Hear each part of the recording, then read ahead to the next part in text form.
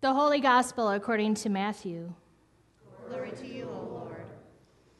Jesus said, You are the salt of the earth. But if salt has lost its taste, how can its saltiness be restored?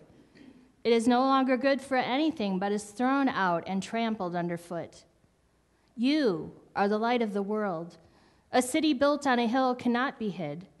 No one, after lighting a lamp, puts it under the bushel basket, but on the lampstand, and it gives light to all in the house. In the same way, let your light shine before others, so that they may see your good works and give glory to your Father in heaven. Do not think that I have come to abolish the law or the prophets. I have come not to abolish, but to fulfill. For truly I tell you, until heaven and earth pass away, not one letter, not one stroke of a letter will pass from the law until all is accomplished. Therefore, whoever breaks one of the least of these commandments and teaches others to do the same will be called least in the kingdom of heaven. But whoever does them and teaches them will be called great in the kingdom of heaven. For I tell you, unless your righteousness exceeds that of the scribes and Pharisees, you will never enter the kingdom of heaven. The gospel of the Lord. Praise to you, O Christ. Please feel free to have a seat. Grace, peace, and active balance to you from the one who calls us to be salt and light for the world, Jesus the Christ. Amen. Is that showing up better? No, that's kind of blown out. You are the salt of the earth, it says. And it ha- usually has a little pretty pink color, so I apologize for that. So, what is life? This is our current focus of invitation uh, as TLC. Last week, I introduced it uh, through the lens of life as an acronym, L I F E, standing for living in finite experiences, which, if you squint in finite, becomes infinite, living infinite experiences. Um, and uh, hopefully impressed upon you that big L life is life and little l life is life. Life is life. The life we get from God, the life we live on earth, uh, may it all be to God. So, through the teaching of the Sermon on the Mount last week, we heard the Beatitudes. We considered how blessed we as disciples, as followers are. Because remember, Jesus at that point was teaching and speaking to his disciples, and he said to them that they are blessed from the very beginning, blessed at the start, blessed and enough, even at that moment of being called. Blessed then to give a blessing when you're able and to receive a blessing when you need it. Um, because again, God blessed us with comfort, with mercy, with righteousness, inheritance, and the very kingdom itself. So, who are we to not share blessings? And from this stage of blessedness, today we hear Jesus continuing in teaching mode.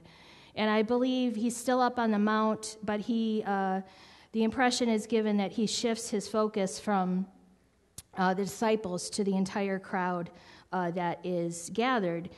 And um, in, in doing this turning, he turns to a huge favorite of mine, uh, which is when God, when Jesus references and points to items that are part of our everyday life and how God really does use them to draw our attention and to transform them and to transform us.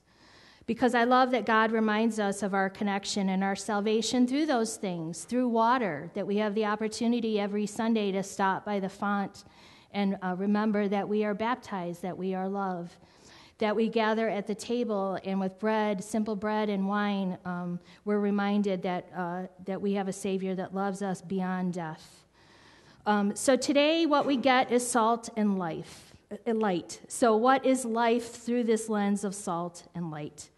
And salt and light are some of those things, items I think that are relevant to talk about what they were and how they were understood to the original hearers before we think about what they mean to us.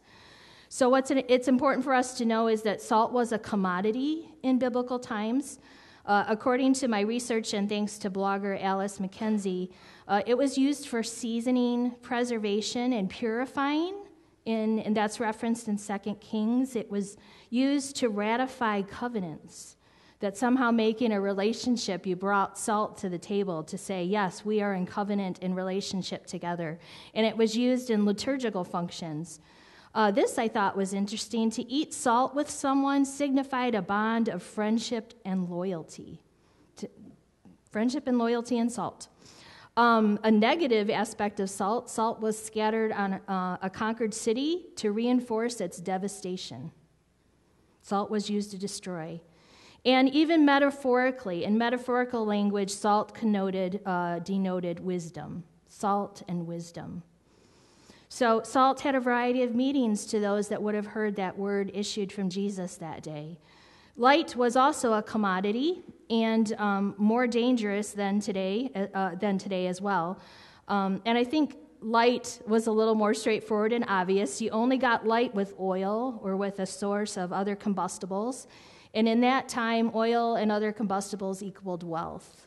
So if you didn't have wealth, you had a harder time getting and sharing light. And as it took combustibles, you had it for less time of the day.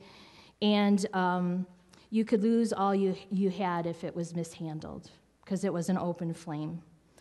So, knowing these other biblically relevant considerations, I think, at least for me, adds to and deepens our reading and our hearing of Jesus' teaching.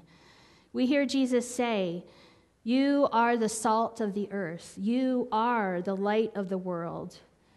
And we're to hear these, I think, not as uh, stated commands, but rather as commendations, as, as affirmations. You are, you already are. You're not working on it. You already are the salt of the earth. You already are the light of the world. And what that means is that you are precious, that you are good when you are used according to your purpose in your creation, and that is quite varied, and that we are also capable of hurting and harming. Much like salt and light in what I just shared, this is all within us. Now, figuring out, this is stepping aside, figuring out and shopping is not one of my favorite things. I am not that woman that's like, "Ooh, let's go shopping. That's a dream weekend. That is not me. However, I've come across a favorite gift that I love to give to brides and grooms, especially those that I'm blessed to officiate for. Um, what I've done is I've taken to giving them a flashlight and a container of salt. And they probably open that up and think, great, yeah, we need these things. And I haven't yet uh, found a perfect visual representation of, of this Matthew 5, so I'm going to need to work maybe with Dick or maybe with, uh, with Tom on making that happen. But I do this because I think that salt and light can cue and call us to the good uh, news of today's message. The good news for the couple that I intend to give it to, the good news for us. And it is that, yes, you are salt, you are light. But can you have too much salt? Can you have too much light? Can you not have enough salt? Can you not have enough light? It's about balance. It's about balance and needing to work together because if any of us have been married long enough, it's great to be in love, but it takes work. Am I right? it takes work. And sometimes one of us can bring the light that is needed. Some of us sometimes can bring too much salt. We can be too salty. Uh, and we need to work together and be forgiving of one another. We're going to hear about that next week. Um, but it's about balance. And I think that we need to remember that too. That as Jesus says, you are salt and you are light, go and shine. Remember that we have the power to love and we have the power to harm. And so to not take those things for granted, those items that call, but to take it to heart and take it seriously.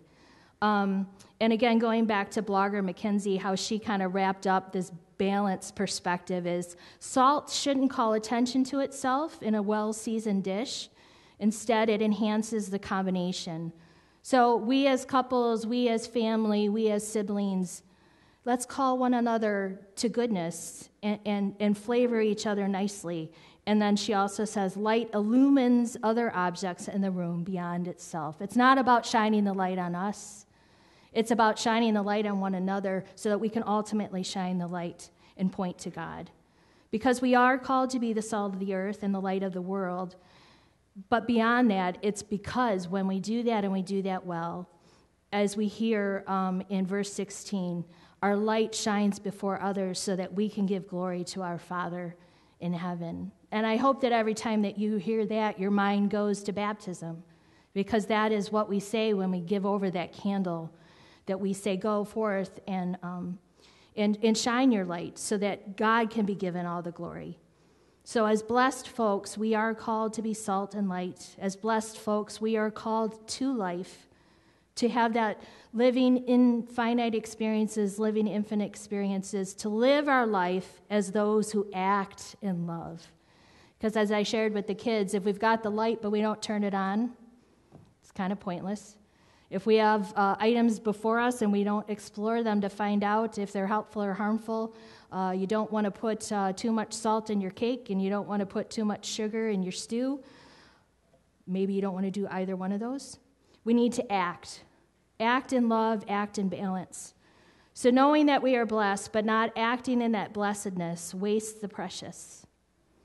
Knowing we are blessed, but acting in excess and harm or harm weakens or hides the blessing. And this brings us to Jesus' final wisdom uh, of our uh, lesson that was shared today, and that's fulfillment. The ongoing and central message of Matthew is fulfillment. Jesus came to fulfill. And Luke's was all. That was Luke's message. So the focus of Matthew's gospel is that Jesus came to fulfill. You name a good thing, Jesus came to fulfill it. Today, in this reading, here it is the law to fulfill perfectly, completely, maturely the things that God has set in place to keep us safe. Not to be a mean old nasty God, but to keep us safe and keep us in relationship, in communion and relationship with God, and communion and relationship with one another. Jesus came to ensure that and to remind us that we too can have life and fulfillment. So today we are to hear that we do have the necessary stuff to live and to love. You are the salt and you are the light. Use it in balance, use it in blessedness, use it in love. And next week we'll learn, uh, we'll hear how to have life in forgiveness. So, beloved of TLC, we have the salt and the light. The good news today is we need to let it shine, let it shine, let it shine. In Jesus' name. Amen.